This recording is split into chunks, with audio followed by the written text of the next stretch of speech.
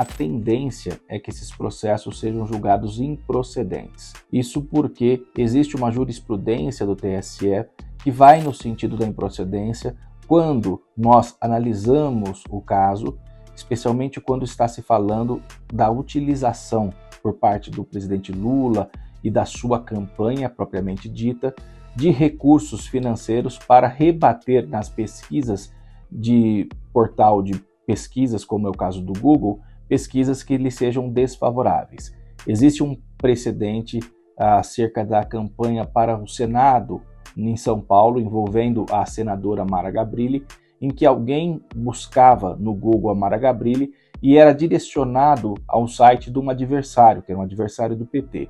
Esse processo foi julgado improcedente e, portanto, com base nesse caso, especialmente essa jurisprudência, é que a tendência é que se entenda que o presidente Lula, na condição de candidato, tenha se valido de recursos financeiros para criar também, a seu ver, um discurso favorável à sua campanha. Então, quando alguém pesquisava sobre corrupção, sobre Lava Jato, também tinha nos primeiros links aparecendo no portal de busca é, a narrativa do candidato. Então, a, dizendo da inocência do presidente, dizendo de uma perseguição política.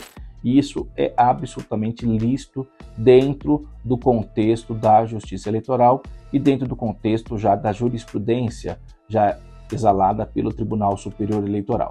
Em relação à suposta boca de urna, isso não aconteceu. O que acontece é que os candidatos, efetivamente, quando eles vão aos locais de votação, naturalmente eles são abraçados, eles conversam com eleitores, mas isso não quer dizer efetivamente que é uma utilização capaz de ensejar a perda do mandato e muito menos a inelegibilidade por oito anos.